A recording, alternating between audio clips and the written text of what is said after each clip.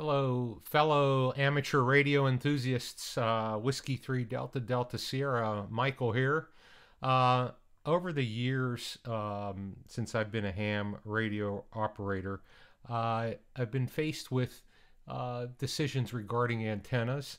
And currently, uh, in, in, where I live, there are some restrictions as to what uh, I would be able to place outside as an antenna. So, to work uh, around this particular issue, I've attempted several um, things, uh, including attic antennas with hamstick type dipoles uh, and uh, wire various wire antennas in the attic with um, limited success. They did actually quite well uh, on uh, the digital modes, but not so good with sideband.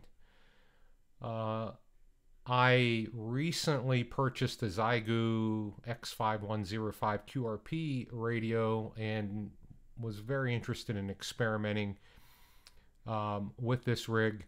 Uh, so I was uh, left with the um, task of trying an outdoor antenna. So some of the things that I tried were wire antennas, a balanced wire antenna with speaker wire uh, with very good results.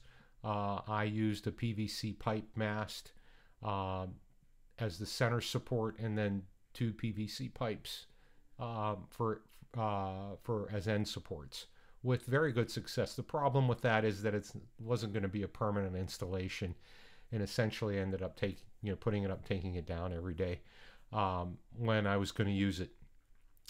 I, uh, I've heard of using the gutter system on a home, aluminum gutters as an antenna. I didn't place much faith in it, um, but I thought I'd give it a try. So I obtained a nine to one unun uh, matching system.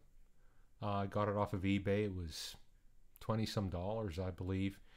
Uh, and I loaded up the antenna system. I put a ground rod in um, as uh, the uh, as the ground, and uh, and I attached a wire to uh, to a downspout, and the results were surprising.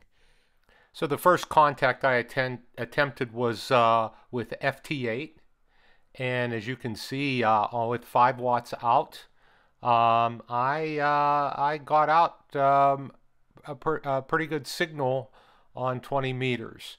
Uh, after that, I went ahead and made some phone contacts. And again, um, I had a lot of success um, and quite a lot of surprise on the other end. Um, when um, the person I was uh, speaking with, you know, learned that I was going out five watts on a, uh, a gutter attached to my home. So, needless to say, this is something that is very easily set up and that you may wish to consider if you are faced with the possibility of limited antenna options. I hope you enjoyed the video. Please like and share and subscribe. Uh, 73 from Whiskey 3 Delta Delta Sierra.